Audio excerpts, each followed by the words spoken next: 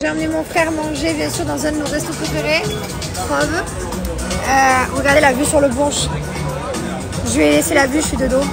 Et là-bas, la vue Fontaine. C'est magnifique. J'adore cet endroit et en c'est trop bon. J'ai pas fait trop de stories. Putain, C'est APEX, c'est derrière-plan, c'est quand même incroyable. J'ai pas fait trop de stories aujourd'hui. On a été. euh, donc ce matin, emmener les enfants à la nurserie. Ensuite, on a été pour mon frère. Qu'est-ce qu'on a fait déjà Le genou, les dents. Le genou, le dentiste, l'ostéopathe.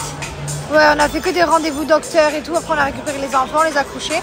Et là, on est juste sorti manger un bout et mon mari il rentre demain. Je suis trop contente, il rentre enfin de Miami. Donc, euh, donc voilà, trop bien. Alors ça, je viens juste pour ça, les gars.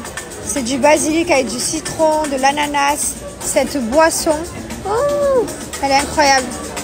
Goûte-moi ça et dis-moi des nouvelles. C'est incroyable. Je- Ouais. T'as vu ça Très bien. Hum.